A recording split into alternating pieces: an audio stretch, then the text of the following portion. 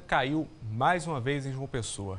Combustível foi encontrado a R$ 3,34 o menor valor, 9 centavos a menos do que o registrado na pesquisa anterior. Já o maior preço encontrado agora foi de R$ 4,20.